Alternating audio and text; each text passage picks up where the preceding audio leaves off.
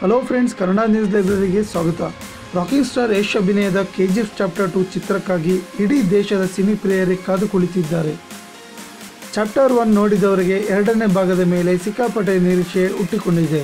ಇದಕ್ಕೆ ಕಾರಣ ಪಾರ್ಟ್ ಒನ್ಗಿಂತ ಹತ್ತು ಪಟ್ಟು ಹೆಚ್ಚು ಪಾರ್ಟ್ ಟು ಮೂಡಿಬರಲಿದೆ ಎಂದು ಚಿತ್ರತಂಡ ಹೇಳಿದ ಮೇಲೆ ನಿರೀಕ್ಷೆ ಹೆಚ್ಚಾಗಿದೆ.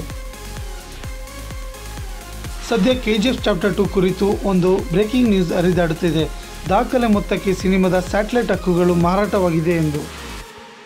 ಕೆ ಚಾಪ್ಟರ್ ಟು ಎಲ್ಲ ಭಾಷೆಗಳ ಪ್ರಸಾರದ ಹಕ್ಕುಗಳನ್ನು ಬರೋಬ್ಬರಿ ನೂರ ಇಪ್ಪತ್ತು ಕೋಟಿ ರೂಪಾಯಿಗಳಿಗೆ ವಾಹಿನಿಯೊಂದು ಪಡೆದುಕೊಂಡಿದೆ ಎಂದು ಸೋಷಿಯಲ್ ಮೀಡಿಯಾದಲ್ಲಿ ಹರಿದಾಡುತ್ತಿದೆ.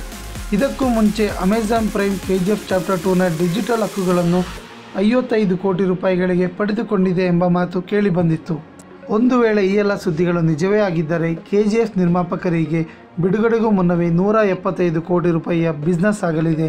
ಹಾಗೂ ಬಿಡುಗಡೆಗೂ ಮೊದಲೇ ಇಷ್ಟೊಂದು ವ್ಯವಹಾರ ಮಾಡಿದ ಟಾಪ್ ಸಿನಿಮಾಗಳ ಲೀಸ್ಟ್ನಲ್ಲಿ K G F chapter two ಕೂಡ ಸೇರಲಿದೆ.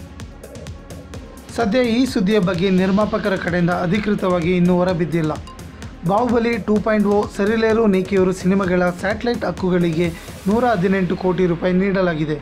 ಈ ಮಾಹಿತಿ ನಿಜವೇ ಆದರೆ ಕೆ ಜಿ ಮೀರಿಸಿ ಮುಂದೆ ಸಾಗಿದೆ ಎನ್ನಬಹುದು. ಈ ಮಾಹಿತಿಯ ಬಗ್ಗೆ ನಿಮ್ಮ ಅನಿಸಿಕೆಯನ್ನು ಕಮೆಂಟ್ ಸೆಕ್ಷನ್ನಲ್ಲಿ ತಿಳಿಸಿ ಹಾಗೂ ಹೆಚ್ಚಿನ ಮಾಹಿತಿಗಾಗಿ ಕನ್ನಡ ನ್ಯೂಸ್ ಲೈಬ್ರರಿಯನ್ನು ಸಬ್ಸ್ಕ್ರೈಬ್ ಮಾಡಿಕೊಳ್ಳಿ. ಹೊಸ ವಿಡಿಯೋಗಳ ನೋಟಿಫಿಕೇಷನ್ಗಾಗಿ ಬೆಲ್ ಐಕನನ್ನು ಕ್ಲಿಕ್ ಮಾಡಿ.